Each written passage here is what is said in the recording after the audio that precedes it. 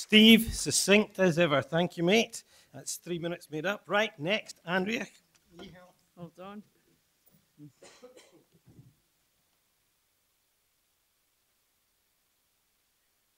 Hello, everybody. That's my five minutes just started now.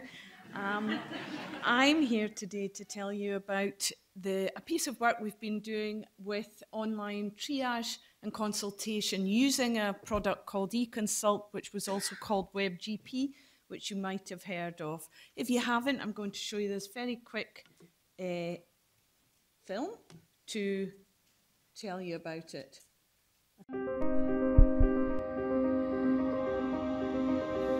All across the UK, GPs are under mounting pressure to give more access to patients. Despite many practices extending opening hours and offering weekend appointments, demand continues to outstrip supply.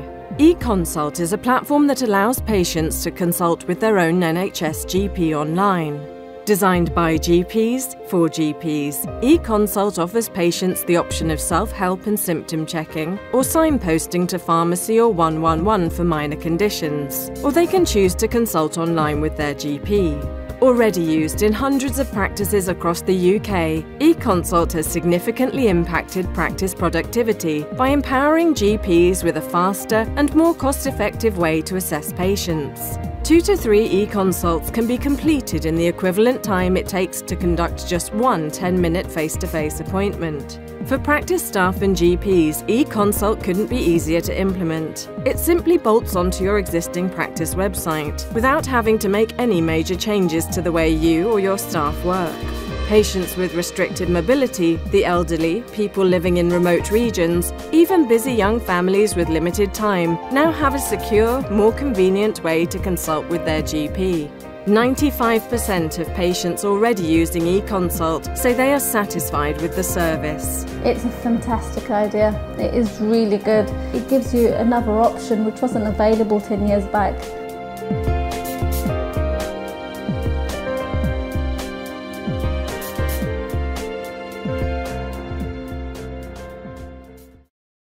Basically plugs onto your own website, your own GP website. We're speaking about GP practices here. And it is as simple as that. The patient would visit the, the website, go on to it. First of all, they will get the self help, that option. Hopefully, they'll be guided into that. And we've found in our small piece of work that they do. And if they don't, they carry on down the line and they go to a consultation. And that will be how the practice works that out. They will decide if it's an advanced nurse practitioner that's looking at it or the GP.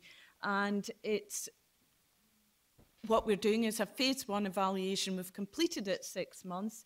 We were looking at startup challenges and opportunities, marketing, what works and what doesn't, um, staff feedback and patient feedback. And that's in 11 practices across four boards with very varying demography, geography and deprivation. So we took a four-week snapshot as well, just earlier in the year, of all the consultations that came into these practices. This is a snapshot. Unfortunately, it's not showing the self-help ones, uh, which we uh, omitted to put in, and we didn't have time to get them in today. But um, that is the 11 practices that have taken place. And along with all these, you can see there's very varying uptake. Some have gone with it because they are very um, au fait with technology and their baseline practice already fits in with what's going on. For others, it was a complete change in practice. So what we also looked at was patient feedback. All the patient feedback is positive. That's embedded within the survey. We looked at staff feedback. Not so. It's mixed. Some very positive in the areas it's working well, as you would imagine, but in other areas where it's a bit more challenging, there have been more challenging bits of feedback.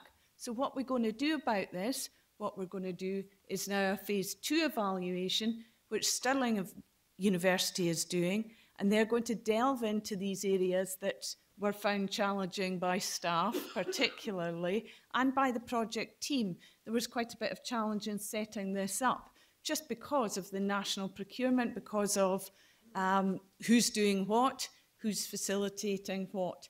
And just like any of us who've been involved in national developments like this, that's one of the biggest challenge, and trying not to pass that on to those that are involved.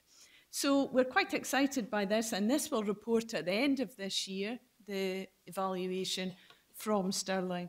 And the actual company themselves, eConsult, are here. Mark Harmon's here. Is he here yet? Hi, Mark.